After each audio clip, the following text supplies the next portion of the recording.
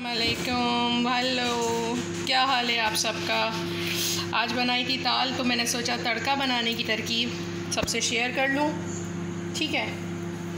देसी घी घर का बना हुआ है। किसी दिन शेयर करूँगी आप लोगों से।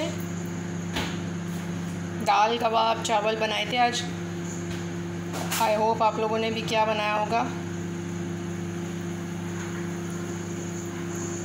ठीक है? अपने हिसाब से आपने डाल दिया। इसमें आपने आधी प्याज डाल दी। ये मेरी टोंगी है छोटी सी, इससे मैं यही सारे काम करती हूँ स्टील की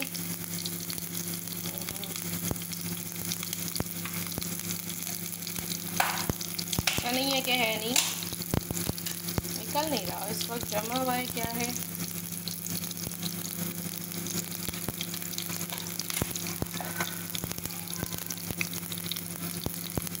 अच्छा प्याज आप फुल ब्राउन नहीं करेंगे।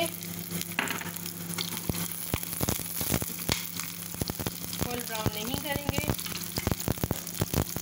ये रही छोटी सी प्लेट मेरी, तड़का लगाने की। दाल मेरी रेडी है, बस मैं लगाने वाली हूँ। ये पकड़ना बेटा, इसी तरह। ठीक है, चार पाँच लहसुन के जवे।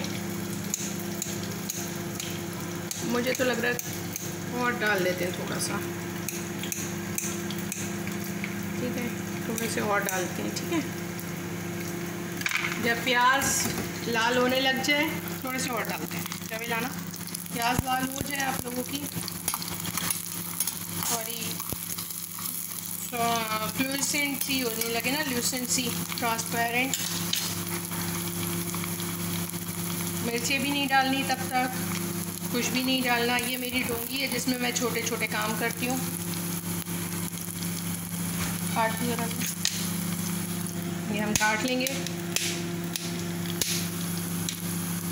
हाँ और आप लोगों के घर में आजकल लॉकडाउन कैसा चल रहा है? हमारे तो खूब मज़े से हम लोग कुकिंग शुकिंग कर रहे हैं। आज मून था, लहसुन वो क्या कहते हैं? पालिस तड़के वाली प्याज खाने का, वो सॉरी दाल खाने का।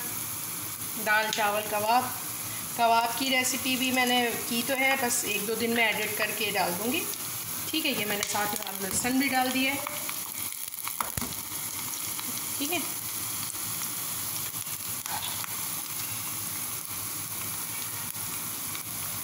ये मैंने पाँच मिर्ची गोल डाल दी।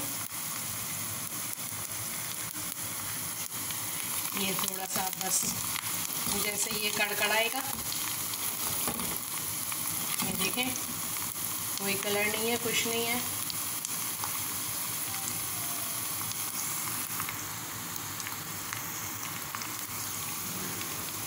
ये अब मैं डाल रही हूँ कड़ी पत्ता।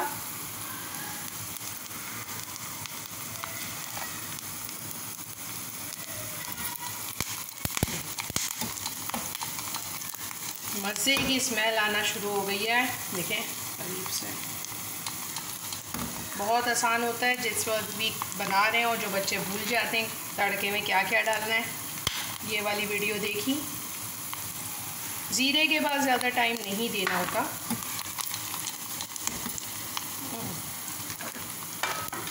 मुझे थोड़ा सा तेल कम लग रहा है ये घी। असली घी का तड़का जो ताकतवर होता है और, ठीक है, ये देखिए। बस।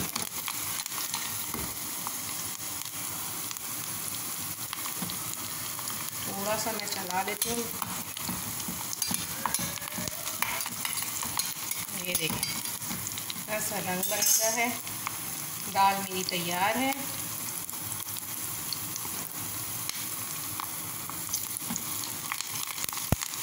ना प्याज काली करनी है, ना पत्ते जलाने हैं, ना ज़ीरा को खराब करना है।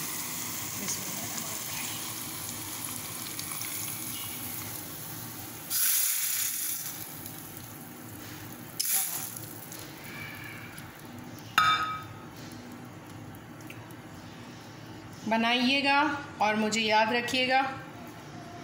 अच्छा लगे तो ज़रूर बताइएगा। मेरे चैनल को लाइक कीजिएगा, सब्सक्राइब कीजिएगा। टिल देन अल्लाह हाफिज़। Bye bye.